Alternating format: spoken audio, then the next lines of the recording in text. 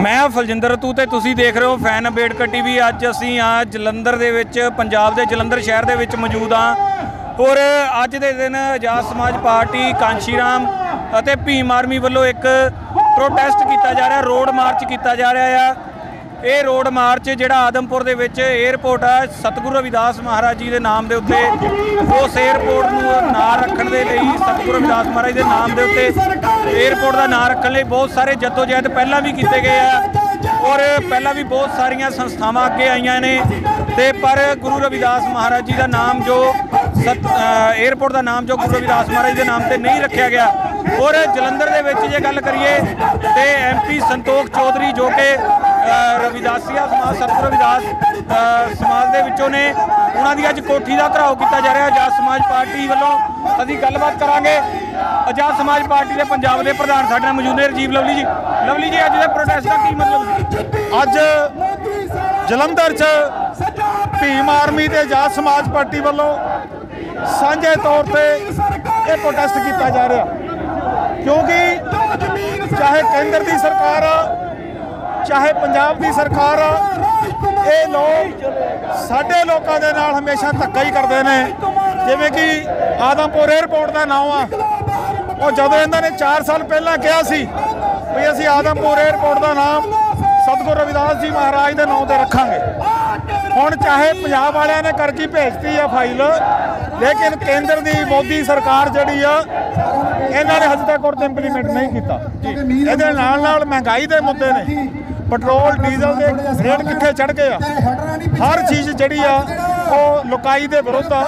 ਇਹਦੇ ਵਿਰੋਧ ਚ ਅਸੀਂ ਆਜ਼ਾਦ ਸਮਾਜ ਪਾਰਟੀ ਤੇ ਭੀਮ ਆਰਮੀ ਵੱਲੋਂ ਅੱਜ ਚੌਧਰੀ ਸੰਤੋਖ ਸਿੰਘ ਜਿਹੜੇ ਐਮਪੀ ਆ ਜਲੰਧਰ ਦੇ ਉਹਨਾਂ ਦੀ ਕੋਠੀ ਦਾ ਘਰਾਓ ਕਰਨ ਜਾ ਰਹੇ ਆ।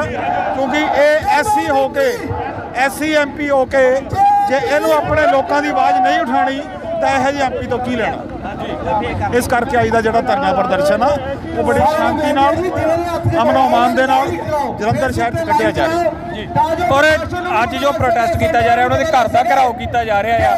ਬਹੁਤ ਸਾਰੀ ਮਾਤਰਾ ਦੇ ਵਿੱਚ ਲੋਕ ਬਹੁਤ ਸਾਰੀ ਭਾਰੀ ਸੰਖਿਆ 'ਚ ਲੋਕ ਆਏ ਆ। ਜੇ ਅੱਗੇ ਦਾ ਕੁਝ ਨਹੀਂ ਬਣਦਾ ਤੇ ਅੱਗੇ ਤੁਹਾਡੀ ਕੀ ਰਣਨੀਤੀ? ਦੇਖੋ ਗੱਲ ਇਹ ਆ ਵੀ ਅੱਗੇ ਸੈਸ਼ਨ ਸ਼ੁਰੂ ਹੋ ਰਿਹਾ ਮਾਨਸੂਨ ਦਾ। ਪਾਰਲੀਮੈਂਟ ਦਾ ਮਾਨਸੂਨ ਸੈਸ਼ਨ ਸ਼ੁਰੂ ਹੋ ਰਿਹਾ। ਅਸੀਂ ਇਹਨਾਂ ਨੂੰ ਚਿਤਾਣਾ ਚਾਹੁੰਦੇ ਆ। ਬਈ ਜਿੰਨੇ ਵੀ ਪੰਜਾਬ ਦੇ ਐਮਪੀ ਆ, ਉਹ ਇਕੱਠੇ ਹੋ ਕੇ ਮੋਦੀ ਸਾਹਿਬ ਤੇ ਇਸ ਗੱਲ ਦਾ ਜ਼ੋਰ ਪਾਉਣ। ਵੀ ਜਿਹੜਾ ਆਦਮਪੁਰ 에ਅਰਪੋਰਟ ਆ, ਉਹਦਾ ਨਾਮ ਸਤਿਗੁਰੂ ਰਵਿਦਾਸ ਜੀ ਮਹਾਰਾਜ ਦੇ ਨਾਂ ਤੇ ਫਾਈਨਲ ਕੀਤਾ ਜਾਵੇ। ਔਰ ਜਿਹੜੇ ਪੈਟਰੋਲ, ਗੈਸ, ਡੀਜ਼ਲ ਦੇ ਰੇਟ ਹਾਈਕ ਹੋ ਰਹੇ ਆ, ਰੋਜ਼ ਪ੍ਰਤੀ ਦਿਨ ਰੇਟ ਵੱਧ ਰਹੇ ਆ, ਇਹਨਾਂ ਦੇ ਵਿਰੋਧ ਚ ਅਸੀਂ ਇਹ ਕਰਨਾ ਚਾਹੁੰਦੇ ਆ। ਬਈ 100 ਰੁਪਏ ਤੋਂ ਉੱਪਰ ਡੀਜ਼ਲ ਪੈਟਰੋਲ ਚਲੇ ਗਿਆ। ਉਹਦੇ ਨਾਲ ਹੋਰ ਜ਼ਰੂਰੀ ਵਸਤੂਆਂ ਦੇ ਰੇਟ ਵੱਧ ਰਹੇ ਆ। ਇਹ ਰੇਟ ਥੱਲੇ ਕਰਨੇ ਚਾਹੀਦੇ ਆ ਤਾਂ ਜੋ ਆਮ ਲੋਕਾਂ ਨੂੰ ਰਾਹਤ ਮਿਲ ਸਕੇ। ਔਰ ਜਿਹੜੀ ਤੁਸੀਂ ਗੱਲ ਕੀਤੀ ਆ ਇਹ, ਅੱਜ ਅਸੀਂ ਉਹਨਾਂ ਨੂੰ ਮੈਮੋਰੈਂਡਮ ਦੇਣਾ। ਉਸ ਤੋਂ ਬਾਅਦ ਉਹ ਸਾਨੂੰ ਕੀ ਜਵਾਬ ਦਿੰਦੇ ਆ, ਉਹ ਦੇਖਣਾ ਹੋਊਗਾ। ਜੇ ਉਹ ਆਪਣੀ ਗੱਲ ਦੇ ਖਰੇ ਨਹੀਂ ਉਤਰਨਗੇ, ਤਾਂ ਫਿਰ ਚਾਹੇ ਸਾਨੂੰ ਪੂਰੇ ਪੰਜਾਬ ਦੇ ਵਿੱਚ ਧਰਨੇ ਪ੍ਰਦਰਸ਼ਨ ਕਰਨ ਪੈਣ, ਤਾਂ ਆਜ਼ਾਦ ਸਮਾਜ ਪਾਰਟੀ ਤੇ ਭੀਮ ਆਰਮੀ ਕਰੇਗੀ ਸੋ ਜਿੱਦਾਂ ਕਿ ਅਸੀਂ ਗੱਲਬਾਤ ਕੀਤੀ ਹੈ ਆਜ਼ਾਦ ਸਮਾਜ ਪਾਰਟੀ ਦੇ ਜੋ ਪੰਜਾਬ ਦੇ ਪ੍ਰਧਾਨ ਨੇ ਸ਼੍ਰੀ ਰਜੀਵ ਕੁਮਾਰ ਲਵਲੀ ਜੀ ਉਹਨਾਂ ਨਾਲ ਗੱਲਬਾਤ ਹੋਈ ਔਰ ਉਹਨਾਂ ਨੇ ਇਹ ਦੱਸਿਆ ਕਿ ਅੱਜ ਜੋ ਰੋਸ ਮਾਰਚ ਕੀਤਾ ਜਾ ਰਿਹਾ, ਅਗਰ ਇਹਦੇ ਉੱਤੇ ਕੋਈ ਕਾਰਵਾਈ ਨਹੀਂ ਹੁੰਦੀ ਦੁਬਾਰਾ, ਸਤਿਗੁਰੂ ਰਵਿਦਾਸ ਮਹਾਰਾਜ ਜੀ ਦਾ ਜੋ ਜੋ ਆਦਮਪੁਰ 에ਅਰਪੋਰਟ ਆ, ਉਹਦਾ ਨਾਮ ਸਤਿਗੁਰੂ ਰਵਿਦਾਸ ਮਹਾਰਾਜ ਜੀ ਦੇ ਨਾਮ ਦੇ ਉੱਤੇ ਅਗਰ 에ਅਰਪੋਰਟ ਦਾ ਨਾਮ ਨਹੀਂ ਰੱਖਿਆ ਜਾਂਦਾ, ਤੇ ਜਿਹੜੇ ਮੌਜੂਦਾ ਹਾਲਾਤ ਨੇ ਔਰ ਮਹਿੰਗਾਈ ਨੂੰ ਲੈ ਕੇ, ਜੇ ਅਗਰ ਇਹਨਾਂ ਉੱਤੇ ਕੋਈ ਵੀ ਅੱਗੇ ਕੋਈ ਠੋਸ ਕਦਮ ਨਹੀਂ ਚੱਕੇ ਜਾਂਦੇ ਤੇ ਅੱਗੇ ਆਦਾਂ ਦੇ ਉੱਤੇ ਪੰਜਾਬ ਦੇ ਵਿੱਚ ਹਰ ਇੱਕ ਜ਼ਿਲ੍ਹੇ ਦੇ ਵਿੱਚ ਜੋ ਰੋਡ ਰੋਸ ਪ੍ਰਦਰਸ਼ਨ ਕਰਨਗੇ। ਇਸ ਮੌਕੇ ਅਸੀਂ ਸ਼੍ਰੀ ਐਮਐਲ ਤੋਮਰ ਜੀ ਜੋ ਪੰਜਾਬ ਦੇ ਇੰਚਾਰਜ ਨੇ ਐਮਐਲ ਤੋਮਰ ਜੀ। ਤੋਮਰ ਸਾਹਿਬ ਕੀ ਕਹਿਣਾ ਚਾਹੁੰਦੇ ਆਪ? ਅੱਜ ਰੋਡ ਮਾਰਚ ਕੀਆ ਜਾ ਰਿਹਾ ਹੈ। क्या ਕਹਿਣਾ ਚਾਹੁੰਦੇ हैं जितने भी साथी हैं सारे आज पंजाब प्रदेश सरकार और केंद्र की सरकार के खिलाफ रोज प्रदर्शन है और ये रोज प्रदर्शन है। जितने भी सतगुरु रविदास जी के नाम से आदमपुर हवाई अड्डे का नाम रखने के लिए और इन्होंने हम लोगों को इतने समय से आश्वासन दिया था, लेकिन यहाँ के मेंबर पार्लियामेंट ने आज तक पार्लियामेंट में वो बात नहीं उठाई है। और बीजेपी की सरकार की भी मंशा नहीं है।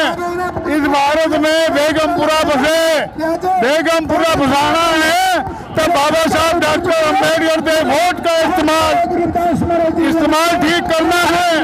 जब ये वोट का प्रयोग ठीक करने लगे आज़ाद समाज पार्टी की गवर्नमेंट बन जाएगी तो ऐसी मांगने वाले नहीं हम ऐसी देने वाले बन जाएँगे।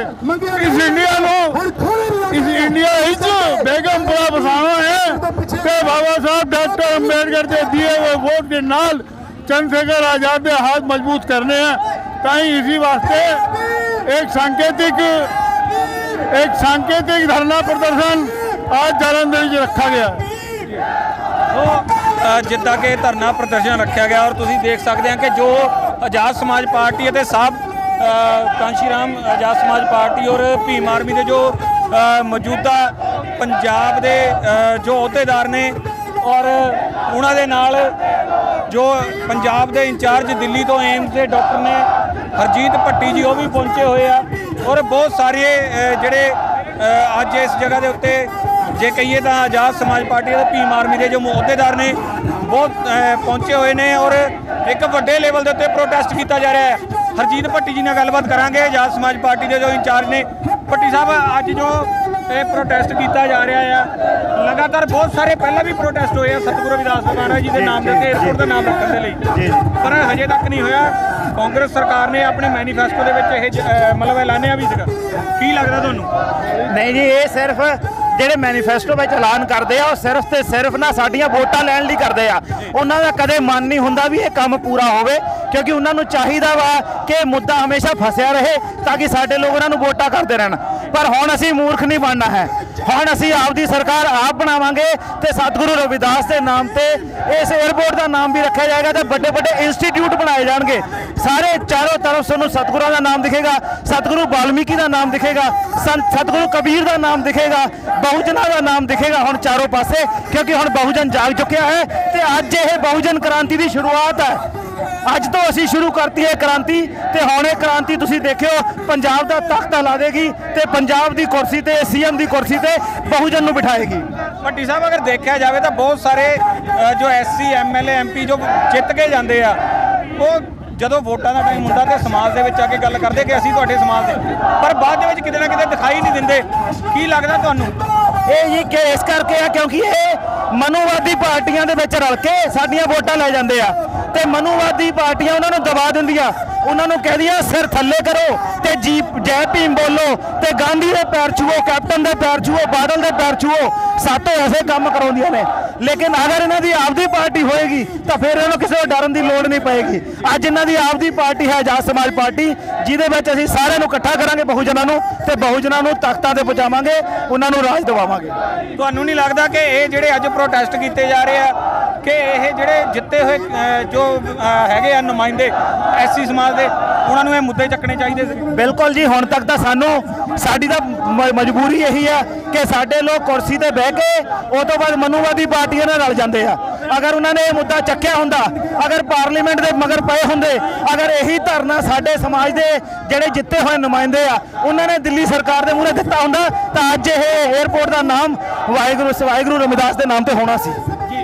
ਅਗਰ ਸੋਚਿਆ ਜਾਵੇ ਕਿ ਉਹਨਾਂ ਲੋਕਾਂ ਵੱਲੋਂ ਵੀ ਕਿਹਾ ਜਾਵੇ ਕਿ ਇੱਕ ਇੱਕ ਤੁਹਾਡੇ ਵੱਲੋਂ ਇਹ ਜੋ ਵੋਟਾਂ ਦਾ ਸਟੰਟ ਨਹੀਂ ਵੋਟਾਂ ਦਾ ਸਟੰਟ ਨਹੀਂ ਹੈਗਾ ਤੇ ਵੈਸੇ ਵੀ ਸਾਡੇ ਜਿਹੜੇ ਰਹਿਬਰ ਨੇ ਚਾਹੇ ਉਹ ਸਾਡੇ ਬਾਬਾ ਸਾਹਿਬ ਅੰਬੇਦਕਰ ਹੋਣ ਚਾਹੇ ਸਾਹਿਬ ਕਾਂਸ਼ੀ ਰਾਮ ਹੋਣ, ਉਹਨਾਂ ਨੇ ਆਪ ਕਿਹਾ ਕਿ ਰਾਜਨੀਤੀ ਕਰੋ, ਰਾਜਨੀਤਿਕ ਸੱਤਾ ਹਾਸਲ ਕਰੋ। ਤਾਂ ਜਦੋਂ ਉਹਨਾਂ ਨੇ ਸਾਡੇ ਰਹਿਬਰਾਂ ਨੇ ਸਾਨੂੰ ਕਿਹਾ, ਸਾਡੇ ਸਤਿਗੁਰੂ ਰਵਿਦਾਸ ਨੇ ਸਾਨੂੰ ਕਿਹਾ ਕਿ ਸੱਤਾ ਤੇ ਪਹੁੰਚੋ, ਰਾਜਨੀਤਿਕ ਜਿਹੜੀ ਸੱਤਾ ਹੈ, ਉਹੀ ਗੁਰੂ ਕਿੱਲੀ ਆ, ਜਿਹੜਾ ਸਾਡਾ, ਜਿਹੜਾ ਸਾਡੇ ਸਾਰੇ ਹੱਕ ਦੇ ਸਕਦੀ ਆ। ਤਾਂ ਅਸੀਂ ਉਹਨੂੰ ਲੈਣ ਲਈ ਜ਼ਰੂਰ ਕਰਾਂਗੇ, ਉਹਨੂੰ ਕਿਸੇ ਨੇ ਰਾਜਨੀਤੀ ਕਹਿਣਾ ਤਾਂ ਕਹੀ ਜਾਵੇ। ਸੋ ਅਸੀਂ ਇਸ ਟਾਈਮ ਹਰਜੀਤ ਭੱਟੀ ਜੀ, ਡਾਕਟਰ ਡਾਕਟਰ ਹਰਜੀਤ ਭੱਟੀ ਜੋ ਪੰਜਾਬ ਦੇ ਇੰਚਾਰਜ ਉਹਨਾਂ ਨਾਲ ਵੀ ਗੱਲਬਾਤ ਕੀਤੀ। ਤੁਸੀਂ ਦੇਖ ਸਕਦੇ ਕਿ ਬਹੁਤ ਲੰਬਾ ਇੱਕ ਕਾਫਲਾ ਜੋ ਆ, ਆਜ਼ਾਦ ਸਮਾਜ ਪਾਰਟੀ ਔਰ ਭੀਮ ਆਰਮੀ ਦਾ ਜੋ ਇੱਕ ਲੰਬਾ ਕਾਫਲਾ ਜੋ ਪੰਜਾਬ ਦੇ ਮੌਜੂਦਾ ਮੁੱਦਿਆਂ ਨੂੰ ਲੈ ਕੇ ਜੋ ਅੱਜ ਤੁਸੀਂ ਦੇਖ ਸਕਦੇ ਆ ਕਿ ਕਾਫੀ ਲੰਬਾ ਕਾਫਲਾ ਜੋ ਚੱਲ ਰਿਹਾ ਹੈ ਸੋ ਨਵੀਆਂ ਖਬਰਾਂ ਦੇਖਣ ਦੇ ਲਈ ਚੈਨਲ ਨੂੰ ਸਬਸਕ੍ਰਾਈਬ ਕਰੋ, ਲਾਈਕ ਕਰੋ, ਸ਼ੇਅਰ ਕਰੋ, ਕਮੈਂਟ ਕਰੋ ਔਰ ਕਮੈਂਟਸ ਦੇ ਵਿੱਚ ਆਪਣੀ ਰਾਏ ਜ਼ਰੂਰ ਦਿਆ ਕਰੋ। ਦਿਓ ਇਜਾਜ਼ਤ, ਧੰਨਵਾਦ।